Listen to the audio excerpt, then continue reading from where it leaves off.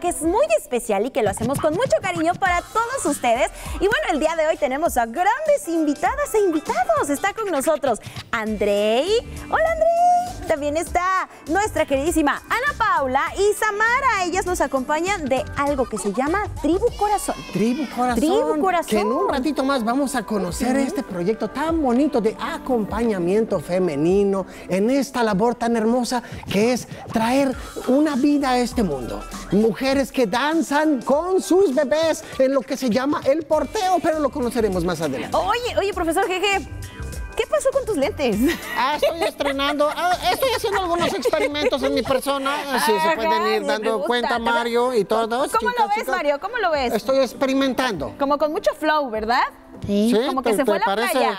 ¿Se ve bien? ¿Con flow? Sí, eh, nuevo corte de pelo, nuevos lentes. Estamos nuevo profesor Jeje. reinventándonos, Liz. Amigos del club, así como queremos reinventarnos, también el día de hoy nos está acompañando el maestro Ulises Martínez Cruz. Y bueno, él nos está ayudando y nos está acompañando con esta interpretación a lengua de señas que está por aquí abajo. Por aquí abajo está el maestro Por Ulises. ¿Aquí? sí. Sí, aquí está Ahí, el maestro ahí, Ulises. ahí, ahí está, Y maestro él nos Ulises. acompaña de Educación a Distancia de la CEP, así como la maestra Maricruz Nogal, que ella nos va a estar hablando sobre un tema llamado inclusión digital. Ah, sí. Oye, y queremos también, hablando de inclusión, incluir a todas y todos ustedes a que formen parte del Club de la Galaxia. Lo pueden hacer a través del correo electrónico clubdelagalaxia.tvmas.mx o también pueden llamarnos al único teléfono en toda la galaxia que parece y suena como carpintero. ¿Por qué? Ese teléfono parece carpintero, porque hace rin, porque hace ran. Ese teléfono yo ya no lo quiero, porque hace rin, porque hace ran. 22 88 42 35 00 para que puedan ustedes participar en la trivia que tenemos el día de hoy Oh. con Mario. Mario, ¿estás listo con la trivia? Sí, A ver qué dice. ¿Qué dice la trivia? ¿En qué país ¿en qué país Se encuentra se encuentra la mayor, La mayor- biodiversidad biodiversidad mundial. mundial? mundial? A ver, los incisos. India, Ajá. Brasil, O México. India, Brasil o México. ¿A, B o C?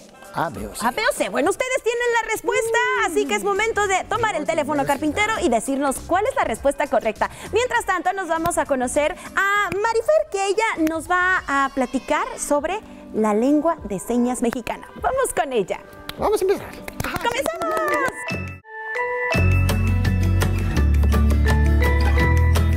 Hola amigos del Club de la Galaxia, yo me llamo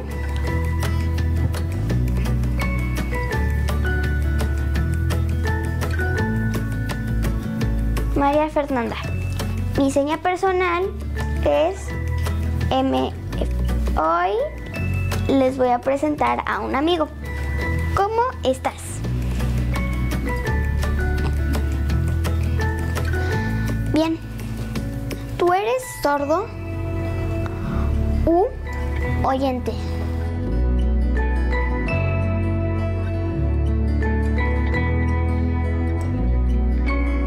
¿Enseñas lengua de señas mexicana?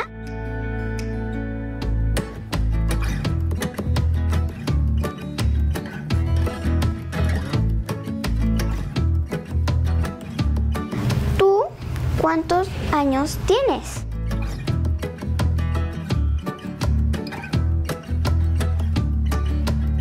Yo tengo ocho años. ¿Tú a qué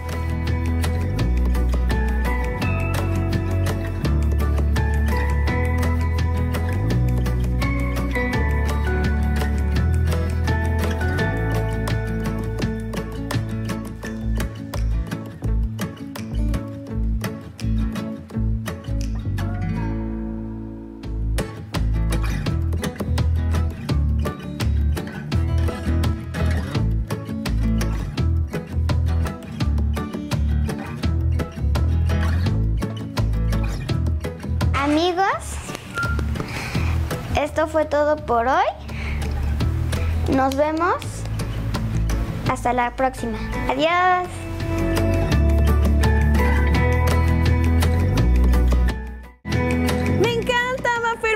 Cápsula y pudimos aprender el día de hoy más sobre la lengua de señas mexicanas. Y bueno, hablando de la inclusión, también tenemos un tema con eh, educación a distancia de la SEC con la maestra Maricruz Nogal para platicar sobre lo que es la inclusión, pero la inclusión digital. Maestra, bienvenida. Así es, buenas tardes, muchas gracias.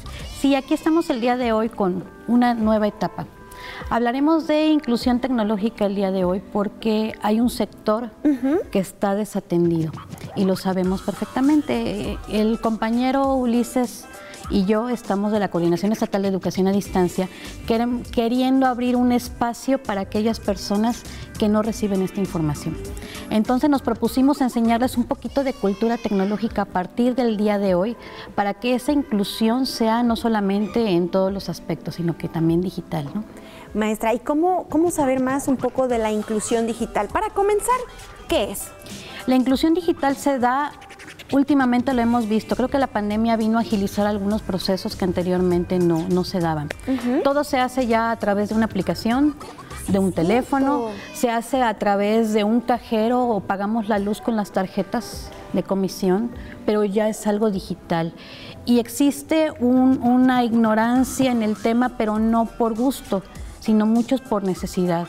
Quien no tiene un teléfono o quien no lo tenía, pues ahora lo tiene, pero a lo mejor no lo sabe usar. Y todas esas aplicaciones, el banco, y ahora nos exigen tener ese, ese tipo de información a la mano, ¿no?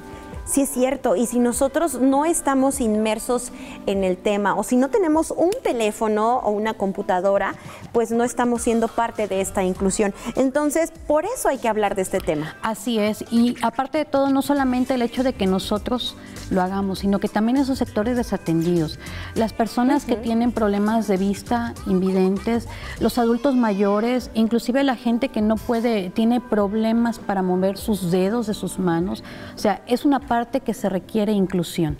Por eso el compañero, este, al integrarse con nosotros en oficinas, le planteamos y está muy contento de estar con nosotros interpretando toda la información y los va a acompañar todo el programa, pero viene de parte de la coordinación para reforzar lo que ya les hemos enseñado. Y créame que nosotros felices que nos acompañen y más aún con, con este tipo de temas que nos hacen también ponernos a pensar, tanto como niñas y niños, y también sabemos si está mamá o papá, hablar sobre esta brecha digital. ¿Qué pasa con las generaciones que nacieron con toda esta digitalización y otros que, estamos aprendiendo y que nos vamos sumando. Así es. Es la fase, se, divide en fases, ¿no? Pero creo que en una de ellas es conocimiento. Tenemos que saber qué hay usarlo y aprovecharlo al máximo, obviamente con usos responsables y adecuados como lo hemos platicado con mucha anticipación. Pero creo que la importancia es de que tengamos la seguridad que es para evolucionar. No es por tener miedo, por tener buscar o, tener temor de lo que vaya a pasar. Simplemente tenemos de tener cuidados y aprender como algo nuevo y lo podemos hacer acompañándonos de la coordinación a educación a distancia de la SEP. Así es, la intención es esa, ofrecerles a partir del día de hoy cultura tecnológica conceptos, que si yo les hablo de redes, me entiendan en casa qué son las redes, porque podemos hablarlas pero no entenderlas, y entonces daría lo mismo que estemos dando información que no funciona. ¿no? Entonces los invitamos también a que si tienen alguna necesidad de un tema en particular a través de ustedes o en nuestro correo o en nuestro Facebook, nos lo hagan saber y con gusto lo traeremos para acá. ¿Y cómo están en redes sociales para comunicarnos con ustedes o algún teléfono? Es Programa Estatal de Educación a Distancia, nos encuentran en Facebook y en el teléfono 2288 1246 32. Maestra Maricruz Nogal, siempre es un gusto que nos acompañe. Gracias. Y más aún con este tema y con, este serie con esta serie de conceptos que vamos a estar aprendiendo aquí en el club y bueno, también con ellos si ustedes se comunican directamente a la Coordinación de Educación a Distancia de la SEP. Y bueno, ahora vamos con un cuento, algo que se llama El Jardín de las preocupaciones. Descubramos de qué se trata.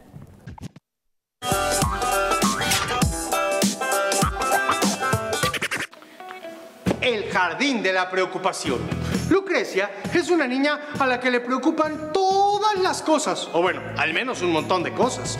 Resulta que le preocupa tanto que sus papás se inventaron una manera de que ella se sienta mejor. Sí, lo que hacen es que cuando ella siente preocupación, puede ir y ver en una lista aquellas cosas que más le gustan. Por ejemplo, masticar chicle, cosa que no está nada bien. ¿eh? Tengan cuidado, no lo mastiquen tanto porque ya se... Bueno, o las maravillas del mundo antiguo, o también sacarle punta a los lápices. Bueno, Pues resulta que entre tantas preocupaciones, llegó el momento en que la abuela va de visita a casa. ¡Ay! Se la pasaron súper bien, jugando, pasándosela muy bonito. Y la pequeña Lucrecia de pronto se fue olvidando de sus preocupaciones. Sin embargo, conforme pasó el tiempo, híjole, la abuela, la abuela tenía que regresar. Así que una nueva preocupación llegó hasta ella. La preocupación de que su abuela se iría. La abuela entonces comenzó a regalarle plantas. Plantas de un tipo, plantas de otro tipo, plantas de otro tipo y de... ¡Ay! De muchos tipos. Ah, pasó entonces que conforme se iban juntando en el jardín, Lucrecia las iba cuidando. Y llegó el día en que la abuela se fue. Y Lucrecia no tenía nada de ganas de levantarse. Pero la preocupación por sus plantas la levantó y fue a su jardín a regarlas. Entonces descubrió que todas estaban ya floreando de uno y otro y otro y otro y otros colores. ¡Ay! ¡Sí! Aquel día, Lucrecia descubrió que ya tenía su propio jardín de las preocupaciones. Y ella cada vez que sentía preocupación iba a cuidarlo, iba a regarlo. Y desde entonces, Lucrecia riega, cuida a aquel jardín maravilloso.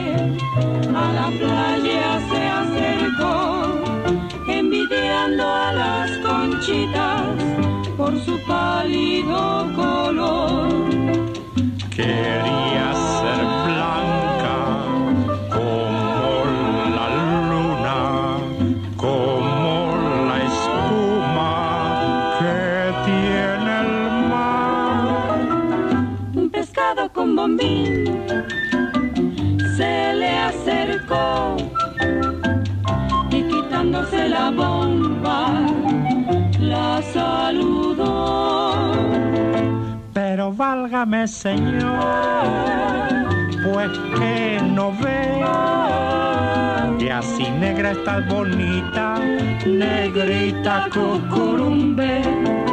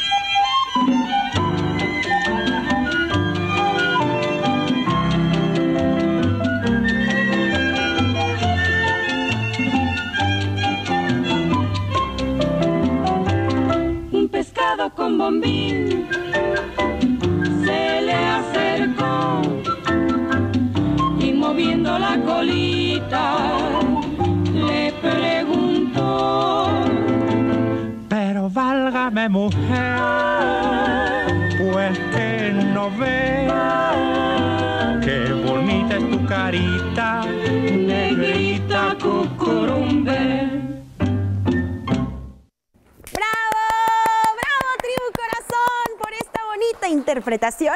Y amigos, en el dato curioso del día de hoy, quiero platicarles sobre el ave que es una de las más chiquititas del mundo. Estamos hablando del colibrí. ¿Han visto un colibrí? Son muy bonitos y tienen un pico bastante alargado. Bueno, pues déjame contarte que los colibríes tienen un corazón que late muy, muy rápido, tanto que si ellos están en reposo, late de 500 a 700 veces por minuto. Y cuando está activo, cuando está volando, late aproximadamente 1200 veces por minuto. Y no solamente eso, sus alitas aletean aproximadamente 60 veces en un segundo. Y bueno, este es uno de los animales que se les conoce como pues tener una frecuencia cardíaca muy, muy, muy acelerada, tanto que tiene el récord en los vertebrados. ¿Qué tal? Ahora si vemos un colibrí, ya vamos a saber algo muy curioso de él. Nos vamos con más aquí en el club. Tribu Corazón sigue con nosotros y ahora van a bailar Dance Monkey. Un aplauso para ellas. ¡Bravo! Thank you.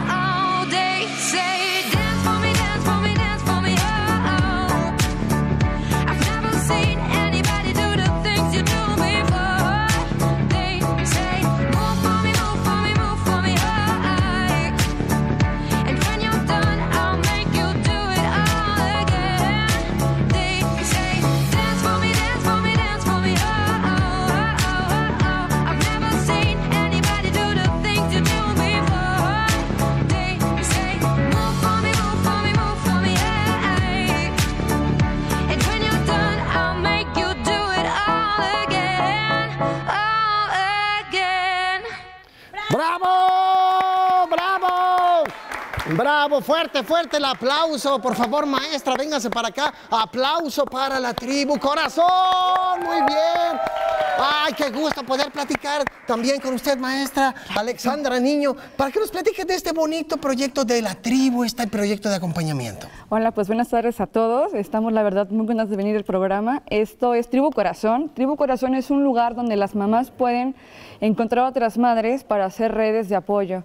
Que nadie se sienta solo en esta etapa de la crianza ni en ninguna etapa, pero sobre todo en esta que es la base de, de todo lo demás. Claro, oye, y esta relación de cercanía con tu bebé, de hacer actividades físicas con él, con la ayuda de estos sostenes, pero que eh, eh, son como los rebozos tradicionales. Exacto, es como un rebozo tradicional, nada más que han ido evolucionando a ser lo que son ahora, como este que tengo yo, los que tienen mis compañeras, que son cargadores ergonómicos modernos, pero todos vienen tal cual del rebozo. Oye, y los niños y las niñas están felices, algunos están hasta dormidos mientras Sí. mamá baila. Esto es lo que suele suceder eh, cuando escuchan música y sienten la mochila, polvos de dormir, quedan dormidos. ¡Ay, qué hermosura! Y bueno, eh, eh, ¿dónde están ustedes este, trabajando? ¿Dó- Si hay más mujeres que quieren entrar a la tribu, ¿cómo lo pueden hacer? Ok, pues nos pueden buscar por Facebook, por Instagram y también, pues bueno, eh, próximamente tendremos ya sede fija en la colonia Progreso, cerca del Cebetis, pero actualmente estamos en Parques, también estamos en Barragán, esquina Allende, depende, tienen que escribirnos por Facebook para que nos puedan encontrar. Por Facebook.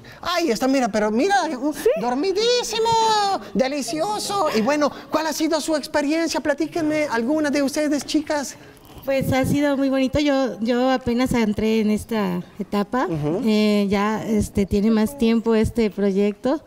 Eh, y estoy muy contenta que en este poco tiempo que tengo, muy contenta y agradecida porque no nada más es el participar y bailar, sino que vives otras experiencias como convivir, como pues apoyarte. Y, y- y las experiencias las vives con tus hijos, ¿no? Que eso es lo más Con- bonito. con mi hijo. Con tu hijo, qué bonito, qué bonito. Y bueno, por acá también, ¿cuál ha sido tu experiencia? Ah, una de las más bonitas desde que inicié esta etapa. No tiene mucho que entré, pero me he sentido súper acogida y apoyada por todas las de la tribu. Y es que así funciona la tribu, Es correcto, Alexandra. ese es el punto de esto, es que nadie se sienta que estamos solas. Estamos Ah, juntas. pues qué maravilla, las felicito a todas, chicas, también a los chicos que están por ahí durmiendo muy a gusto. Y bueno, eh, seguiremos con más en el programa, pero muchas felicidades, tribu corazón. Muy bien, vamos a continuar con más aquí en el programa.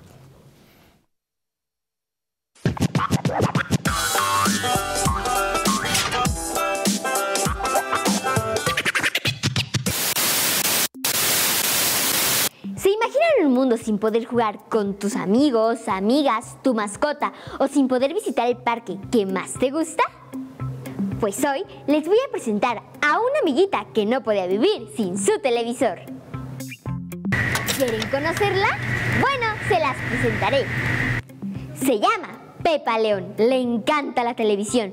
Se pasaba todo el día frente a ella. Tenía como 300 programas favoritos.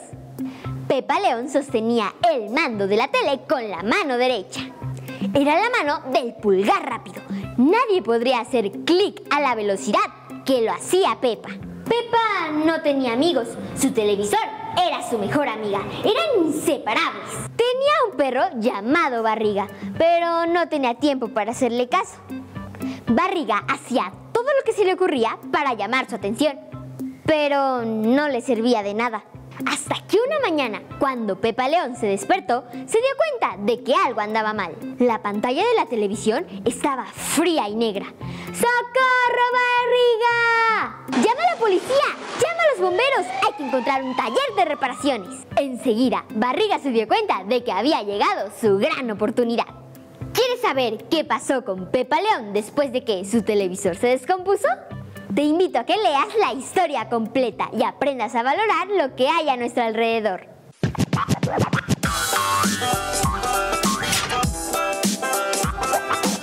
Nuestras amigas de Tribu Corazón que están con nosotros aquí en el Club de la Galaxia y conociéndolas y, y, pues viendo cómo los niños le están pasando increíble, ya están despertando porque se quedaron dormidos. Profesor Jeje en el baile. Sí, ya, y quieren participar en la trivia porque ya tienen sus respuestas. Sí. Pero a ver, Mario, vamos a recordar cuál es la trivia del día de hoy.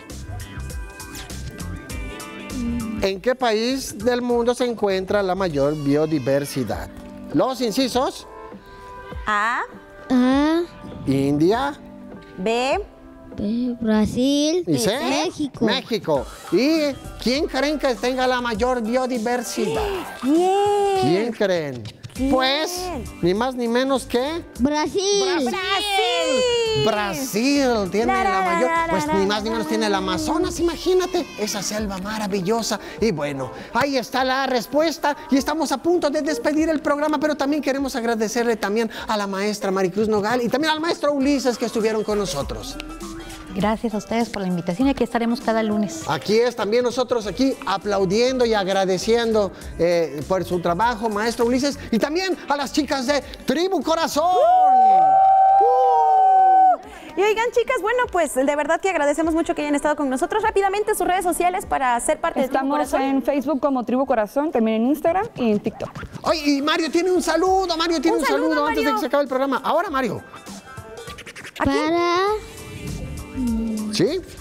Mario Emiliano. Mario Emiliano. Muy ¡Ey, bien, muy un bien, saludo! Mario Emiliano. Y también me contaron que una de las pequeñitas está cumpliendo un año. ¡Felicidades! ¡Feliz cumpleaños! Y también a ti que estás viendo el programa y es tu cumpleaños, te mandamos un abrazo enorme y que te la pases muy bien. Y nosotros así despedimos el programa. ¡Ah, nos vemos! ¡Ya nos Esto fue el Club de la Galaxia. ¡Adiós! ¡Adiós!